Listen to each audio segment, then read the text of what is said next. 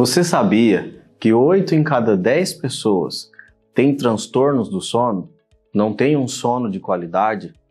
É, tem dificuldades de adormecer, de pegar no sono, de desligar o cérebro de tudo aquilo que você estava fazendo no seu dia a dia para conseguir dormir? E uma vez que já conseguiu dormir, tem muitas pessoas que têm a dificuldade de entrar no sono REM. Tá? Nós temos dois tipos de sono, o sono não REM e o sono REM. O sono não REM é mais superficial, é aquele que qualquer barulhinho no ambiente vai te acordar. E o sono REM é um sono profundo, aquele que você precisa de um estímulo, uma pessoa te tocar para que você venha acordar.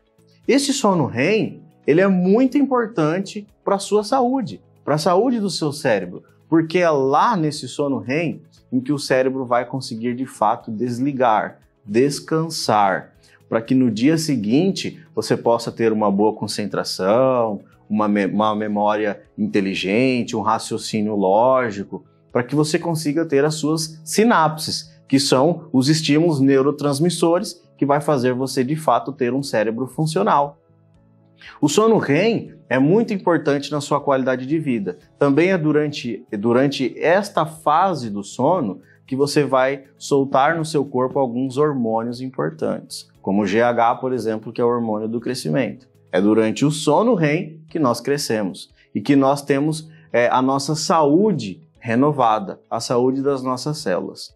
Bom, uma vez que você não conseguiu é, dormir bem e não conseguiu acessar o sono REM, no dia seguinte você vai ter aquela famosa frase: Eu dormi, mas não descansei. Eu acordei cansado. Eu não renovei durante a minha noite de sono. E aí isso vai interferir nas suas atividades do dia seguinte. E essas atividades do dia seguinte que não foram boas, vai te gerar um estresse à noite e você de novo vai ter novamente uma noite de sono de péssima qualidade. Bom, o que é que faz você dormir? O que te induz ao sono? Qual é o hormônio indutor do sono? É a melatonina. A melatonina é um hormônio produzido e secretado nas nossas glândulas pineais. Tá? E para que o seu corpo consiga fazer este hormônio, ele precisa de algumas substâncias é, muito importantes, como por exemplo o magnésio. Sem o magnésio, essa glândula não vai fazer melatonina. E ele precisa de que você não tenha estímulos à noite, que você não faça sua última refeição muito tarde, para que você não esteja digerindo no momento de dormir. Ele precisa que você não tenha estímulos auditivos nem visuais, ou seja, que você não fique na frente de uma tela de computador ou de celular até o último instante na hora de dormir. Que você não tenha ruídos, barulhos nesse ambiente.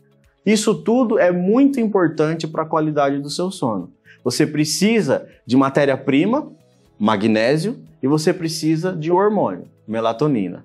Atualmente, alguns suplementos alimentares contêm em suas formulações essas duas substâncias, o magnésio e a melatonina, tá? Atrelado isso em uma tecnologia de ionização dos minerais, para que esse magnésio consiga atravessar as células fácil e rapidamente. E aí você consegue colocar dentro do seu corpo é, essa matéria-prima e também o hormônio fundamental que vai induzir o seu sono, um sono de qualidade, para que no dia seguinte você não tenha ansiedade, você não tenha estresse, irritabilidade, para que você tenha um dia produtivo nos seus afazeres.